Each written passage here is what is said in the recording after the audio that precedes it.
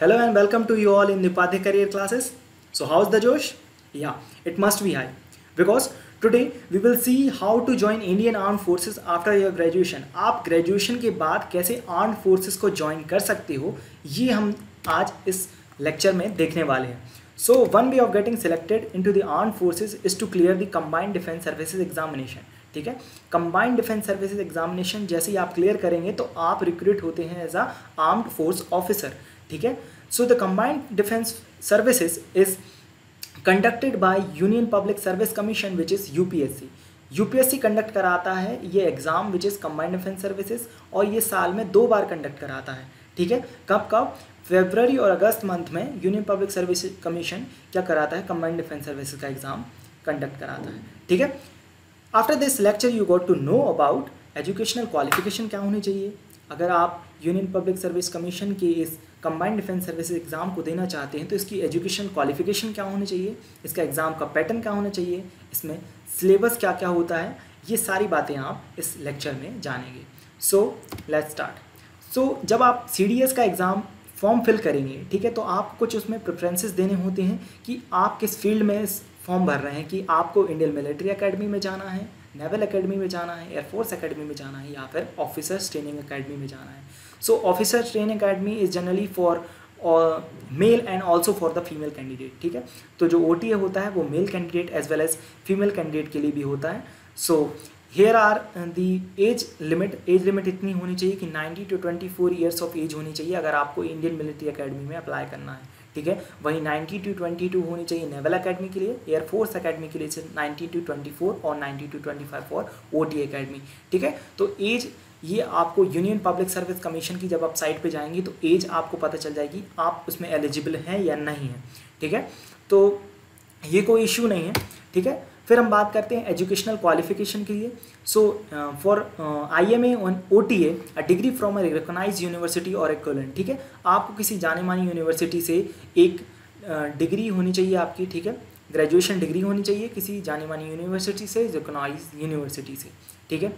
If you are willing to join the naval academy अगर आप naval academy को join करना चाहते हैं तो आपको डिग्री इन इंजीनियरिंग मतलब आपकी इंजीनियरिंग की डिग्री होनी चाहिए। किसी रिकॉग्नाइज यूनिवर्सिटी से मतलब कि कोई जाने वाली यूनिवर्सिटी से आपकी डिग्री होनी चाहिए, वो भी इंजीनियरिंग में। ठीक है? फिर बात करते हैं air force academy if you want to join the air force academy you should have a degree from the you can recognise university with physics and math at ten plus two level ठीक है? जहाँ पे आप क्या कर सकते हैं कि अगर डिग्री तो हो, साथ में आपकी फिजिक्स और मैथमेटिक्स जैसे सब्जेक्ट आपके हों टेन प्लस टू में जब आप इलेवन ट्वेल्थ हमने दी हो तो उसमें फिजिक्स और मैथमेटिक्स भी होना चाहिए आपके सब्जेक्ट में, ठीक है? और बैचलर इन इंजीनियरिंग की डिग्री आपके पास में हो तो आप एयरफोर्स अकेडमी के लिए क्या कर सकते हैं? अप्लाई कर सकते हैं। तो ये तो बात थी educational so who can apply for the C D S तो आपकी जो नेशनलिटी होनी चाहिए, आप इंडियन सिटीजन होने चाहिए, या फिर subject of Bhutan subject of Nepal Tibetan refugees who are permanently settling in India and person who are of Indian origin who migrated from Pakistan Burma Sri Lanka eastern Africa of Kenya and so intentionally permanent settling in India but favour of certificate of eligibility issued by the government of India ठीक है? ये settlement मतलब citizenship ले चुकी है, और ये Indian के सिटीजन कहलाते हैं, पर इनके लिए क्या होता है, जो सर्टिफिकेट ऑफ़ एलिजिबिलिटी जो देती है, वो देती है गवर्नमेंट ऑफ़ इंडिया लेकिन जो गोरखा सब्जेक्ट के में लाए करते हैं, जो नेपाल के जो लोग होते हैं, उनके लिए कोई भी एलिजिबिलिटी सर्टिफिकेट नहीं देना होता है। ठीक है? तो ये तो बात थी कि who can apply for C D S now we will go through the exam pattern exam का पैटर्न कैसा होता है, ये देखते हैं। ठीक है? सो एग्ज़ाम पैटर्न जनरली दो फ़ेज़ में होता है। एक तो written exam then after if you are clearing the written exam you will call for the S S B interview that is service selection board ठीक है? तो रिटर्न एग्ज़ाम में रिटर्न एग्ज़ाम तीन फ़ेज़ में होता है, ठीक है? दो दो आवर्स का एग्ज़ाम होता है, ठीक है? Two hours test for English general knowledge and mathematics ठीक है? तो जनरली ये सिक्स आवर्स का काफ़ी बड़ा टेस्ट होता है, ठीक है? तो इंग्लिश में 120 क्वेश्चन पूछे जाते हैं, जो कि 100 मार्क के होते हैं, ठीक है? फिर जनरल नॉलेज में भी ऐसे ही होता है कि 120 question carries 100 marks mathematics also 100 question carry 100 marks mathematics में सिर्फ़ 100 क्वेश्चन होते हैं और 100 मार्क्स के होते हैं, और टाइम जो अलॉट होता है वो तीनों एग्ज़ाम्स के लिए सेम होता है टू टू आवर्स का टाइम इसमें मिलता है. बट यहाँ पर जानने वाली बात क्या है कि जो ओ टी अकेडमी के लिए ओ टी के लिए ट्राई कर रहे हैं that is officer training academy के लिए उन्हें सिर्फ़ दो एग्ज़ाम्स देने होते हैं that is English and general knowledge ये दो एग्ज़ाम्स बस देने होते हैं उनको, ठीक है? And who can apply for the O T A तो इसके लिए मेल और फीमेल कैंडिडेट कैंडिडेट दोनों अप्लाई कर सकते हैं, ठीक है? A male person and a female person female candidate also apply for O T A ठीक है? और ओ टी ए में फीमेल कैंडिडेट में भी who are divorced and widows also can apply for the that is O T academy ठीक है?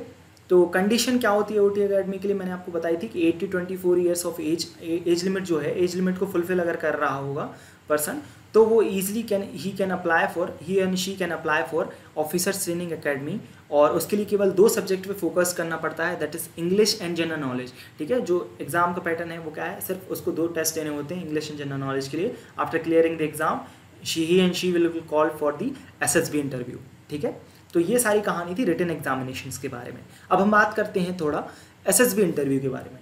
So S S B interview generally है five days procedure ठीक है?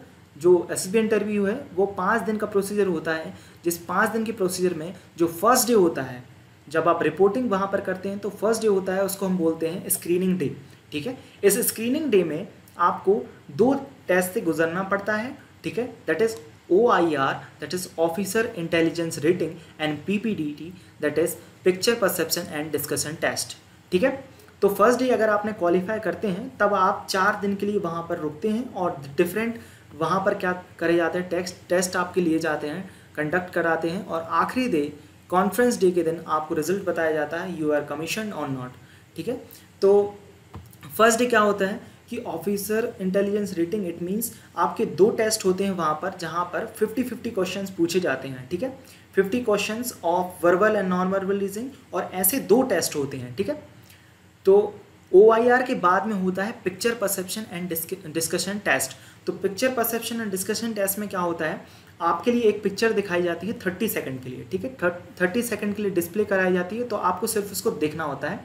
फिर आपको एक मिनट मिलता है उस पिक्चर को उस पिक्चर के बारे में आपका परसेप्शन क्या है वो देखते हैं और आपको लिखना होता है, ठीक है? फिर वो पेपर आपसे ले लिया जाता है, फिर थोड़ी देर के बाद क्या होता है, एक ग्रुप डिस्कशन होता है जिसमें फिफ्टीन टू ट्वेंटी मेंबर्स होते हैं, ठीक है? एक सर्कल में बैठे होते हैं, ये सारी मैं प्रोसीड बाद में बताऊँगा। इन शॉर्ट में आपको बताऊँ तो 15 परसेंट बैठे होते हैं 15 टू 20 परसेंट बैठे होते हैं, वहाँ पर आपका होता है डिस्कशन ठीक है? डिस्कशन करने के बाद में एक कॉमन स्टोरी को पहले तो आप नरेट करेंगे जो आपने स्टोरी लिखी हुई है, उस स्टोरी को नरेट करना होता है और नरेट करने के बाद क्या होता है वहाँ पर? उस स्टोरी का एक आखिरी में एक कंक्लूजन स्टोरी बनती है जो कि सब लोग मिल बांट कर निकालते हैं कंक्लूजन स्टोरी और यहाँ पर जो भी सिलेक्ट होता है, उसके बाद में उसके लिए सेकंड स्टेज के लिए रुकना होता है फोर डेज़ प्रोसीजर के लिए, ठीक है? इस प्रोसीजर में आपके डिफरेंट टेस्ट होते हैं, जैसे कि ग्रुप टास्क होता है ठीक है? ग्रुप टास्क के अलावा आपके बहुत सारे ऐसे टेस्ट होते हैं, ठीक है? यहाँ पर आपका ग्रुप डिस्कशन होता है डिफरेंट इंटरनेशनल अफेयर्स के ऊपर ग्रुप डिस्कशन हो सकता है वहाँ पर, या फिर आपके लिए लेक्चरेट राउंड होता है तो बहुत सारी चीज़ों से आपको गुजरना होता है, ठीक है? इसी चार दिन के दौरान कभी भी आपका एक पर्सनल इंटरव्यू होता है, ठीक है? एक personal one on one interview होता है, जहाँ पर बहुत सारे ऑफिसर्स बैठे होते हैं उन्होंने उनके साथ में आपका क्या होता है? इंटरव्यू होता है, ठीक है? तो एक्चुअली क्या है? एस इंटरव्यू प्रोसीजर एक अपना एक सेपरेट वीडियो बनाना होगा मुझे कि इसको, इसके बारे में बताने के लिए। पर इन शॉर्ट आप समझें तो ये पाँच दिन की प्रोसीजर होती है जिसमें आपको बहुत सारी स्टेजेस से गुजरना होता है और आखिरी day which is conference day पे आपको बताते हैं कि आप सेलेक्टेड हैं या नहीं। और इसी के बीच में आपका कहीं पे एक मेडिकल टेस्ट होगा, जहाँ अगर आप कॉन्फ्रेंस अगर आप निकल जाते हैं, आप रिकमेंड हो जाते हैं तो यहाँ पर फिर आपका मेडिकल टेस्ट होता है। और फिर आपका एक ऑफिसर की तरह एक ट्रेनिंग करेंगे, है ना? तो फिर बात आती है कि सिलेबस क्या होता है इसका, ठीक है? तो सिलेबस इंग्लिश का जो सिलेबस होता है, मैंने आपको बताया कि इसमें 120 क्वेश्चन पूछे जाते हैं और टोटल मार्क उसके उसके जो होते हैं, वो होते हैं हंड्रेड मार्क्स ठीक है? सम ऑफ़ देम से that English is generally a basic test English बहुत बेसिक सा टेस्ट होता है।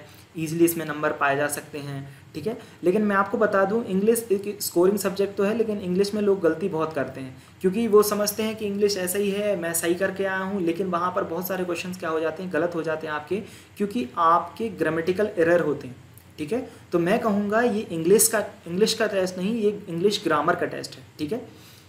आप, आपके लिए बहुत अच्छा ग्रामर का नॉलेज होगा, तब तभी आप इसको अच्छे से कर पाएँगे। ठीक है? तो सबसे पहले क्या होता है?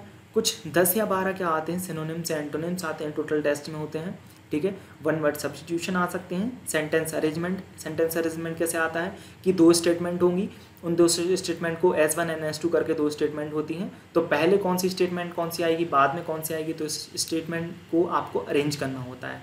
फिर क्या होता है? पी क्यू आर एस ठीक है? Sentence arrangement on the basis of P Q R S ठीक है? आपको एक आ, लिखना पड़ता है कि पी क्यू आर एस मतलब सीक्वेंस लिखना पड़ता है कि सेंटेंस का अब सीक्वेंस कौन सा आएगा? ए बी सी डी करके भी एक सीक्वेंस होता है। तो ये सेंटेंस अरेंजमेंट होता है। फिर स्पॉटिंग ऑफ़ एरर की बात करेंगे तो आपको क्या करना पड़ता है कि एक सेंटेंस दिया होता है, उसमें कहाँ पे किस पोर्शन में एरर है, वो आपको बताना होता है। फिर cloze test suitable word selection ठीक है? वर्ड का सिलेक्शन करना होता है कि वहाँ पर एक फिलअप फिलिंदी ब्लैंक्स दे दिया जाता है आपके लिए और उस फिलिंदी ब्लैंक्स में आपको सुटेबल वर्ड वर्ड देना पड़ता है, जैसे हैज़ या हैव आप इसमें से हैज़ ऑब्लिक हैड हैव लिखा होता है या हैड लिखा होता है तो आप इसमें से कौन सा चूज़ करेंगे? ऐसे आपको वर्ड का सिलेक्शन करना होता है, फिर उसके बाद आता है comprehension comprehension portion is generally is और अबाउट कि आप कैसे उसको रीड करते हैं, कितने जल्दी आपकी रीडिंग एबिलिटी है और आपको उस रीडिंग करने के बाद आप उससे क्या समझे तो उस कॉम्प्रिहेंशन से क्या समझे, इसके इसके इसके भी कुछ क्वेश्चंस होते हैं पैराग्राफ्स होते हैं तो कॉम्प्रिहेंशन के बारे में, फिर उसके बाद आते हैं सेंटेंस इंप्रूवमेंट सेंटेंस को आपको सही करना होता है तो ये सारा कुछ था इंग्लिश के बारे में, ठीक है? इंग्लिश ग्रामर मैं बोलूँगा, ये इंग्लिश नहीं, ये इंग्लिश ग्रामर का पेपर है, ठीक है? तो ये सारी चीज़ें आपको समझनी होती हैं। ठीक है? बेसिकली अगर आप इंग्लिश की तैयारी आपको करनी हो तो आप किस पे फोकस्ड रहें? ग्रामर पे फोकस्ड रहें पार्ट्स ऑफ़ स्पीच के बारे में पढ़ें, ठीक है? पार्ट्स ऑफ़ स्पीच के अलावा tenses direct and direct speech ठीक है? कंजक्शन एंड इन सारे टॉपिक्स में अगर आप जाएँगे तो और एंटोनिम्स सोनोनिम्स आप क्या करें? कि रोज़ न्यूज़पेपर से नए नए वर्ड्स को जाने तो सिनेम्स आपके तैयार हो जाएँगे एंटोनिम्स ऐसे तैयार हो जाएँगे। वन वर्ड सब्सटीट्यूशन आपको थोड़ा बहुत आने लगेगा इससे। तो newspaper reading is one way to deal with the English paper और इंग्लिश ग्रामर पेपर ठीक है? और न्यूज़पेपर रीडिंग आपको एक चीज़ में और हेल्प करने वाला है। आपके जो करंट अफेयर्स का जो एग्ज़ाम होता है, वो मैं आगे डिस्कस करूँगा जनरल नॉलेज में, उसमें भी आपकी काफ़ी हेल्प होगी, ठीक है? So we will talk about mathematics ठीक है? तो मैथमेटिक्स को मैंने दो पोर्शन में डिवाइड किया हुआ है। That is arithmetic and advance portion ठीक है? तो बहुत सारे एग्ज़ाम्स में आप देखते हैं कि अर्थमेटिक पोर्शन से ज़्यादा पूछा जाता है, लेकिन इसमें मेनली फोकस्ड होते हैं वो एडवांस की तरफ़। ठीक है? एडवांस मैथमेटिक्स से काफ़ी सारा कुछ आता है। ठीक है? फिर अर्थमेटिक्स से क्या क्या क्वेश्चन आते हैं? तो आप देख लीजिए। Time in work time in distance profit and loss इन तीनों से क्वेश्चन आते हैं। ठीक है? एक आधा क्वेश्चन आ जाता है एस से या फिर रेशियो एंड प्रोपोर्शन से। ठीक है? और यहाँ पर आता है प्रोबेबिलिटी मैं लिखना भूल गया हूँ, लेकिन तो यहाँ पर प्रोबेबिलिटी भी मेंशन होता है, ठीक है? तो प्रोबेबिलिटी से एक आधा क्वेश्चन आ जाता है। फिर यहाँ पर एडवांस पोर्शन में कौन सा आता है? कोऑर्डिनेट ज्योमेट्री ठीक है? Mensuration two D and three D mensuration two D and three D के लगभग पाँच से छः क्वेश्चन आपको देखने को मिल जाते हैं, और ये काफ़ी सिंपल होता है। तो मैं कहूँगा कि आप एडवांस पोर्शन पे फोकस कहाँ रहें trigonometry height and distance mensuration ठीक है? नंबर सिस्टम भी ईजी सा टॉपिक है। फिर उसके बाद आप आ जाइए ट्राइंगल और सर्कल और कॉर्डिलेटर और फिर ऐसे करके इस सीक्वेंस में आप पढ़िए, ठीक है? तो जनरली मैथमेटिक्स जो पोर्शन होता है, वो एडवांस सेक्शन पे होता है। आपको सारे के सारे क्वेश्चन टिक नहीं करने होते। ठीक है? आप hundred to hundred question tick नहीं मारेंगे। ठीक है? आपको क्या? लिमिटेड अमाउंट में इसको सॉल्व करना है, ठीक है? और स्पेसिफिकली क्योंकि इतना टाइम नहीं होता है ना, कि आपको हंड्रेड क्वेश्चन और हंड्रेड मार्क्स ठीक है? आपकी एक्यूरेसी अगर अच्छी होगी तो आप इजीली इस पेपर को आप सॉल्व कर पाएँगे। नहीं तो टाइम कम पड़ने की वजह से आप जनरली बीस क्वेश्चन ही सॉल्व कर पाएँगे। और जबकि इसमें सेक्शनल कट ऑफ़ होता है तीनों पेपर में तो सेक्शनल कट ऑफ़ आपका नहीं निकल पाता है। ठीक है? तो आप क्या करें? आप सिर्फ़ एक्यूरेसी पर ध्यान दें अभी, और फिर एक्यूरेसी के साथ साथ जैसे आप प्रैक्टिस करते जाएँगे तो आपकी जो टाइमिंग है वो भी सुधरती जाएगी इसमें फिर, है ना? तो इसके बाद हम बात करेंगे जनरल नॉलेज के बारे में। ठीक है तो जनरल नॉलेज में तीन पोर्शन में एग्ज़ाम को बांटा गया है, मैंने बांटा इसको। तीन पोर्शन में that is general studies general science and current affairs ठीक है? तो जनरल स्टडीज़ में क्या क्या पढ़ना है आपको? Polity geography history and economics ठीक है? जनरल साइंस में आपको पढ़ना है फिजिक्स केमिस्ट्री एंड बायोलॉजी ठीक है? करंट अफेयर्स में national international international relationship with neighbouring countries military exercises rank in armed armed officer ठीक है? देखिए जनरल स्टडीज़ में जब हम पॉलिटी की बात करते हैं तो पॉलिटी काफ़ी डीप पूछी जाती है। पॉलिटी जोग्राफी ये सारा कुछ बहुत डीप पूछा जाता है।